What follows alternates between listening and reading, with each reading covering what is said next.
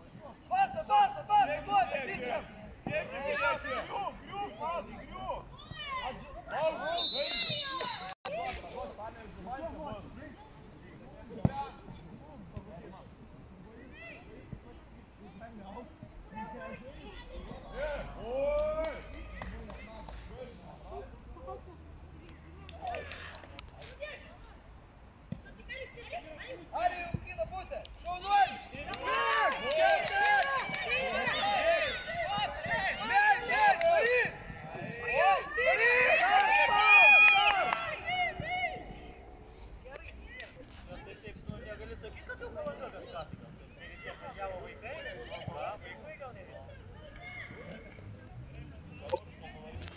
Ir parė.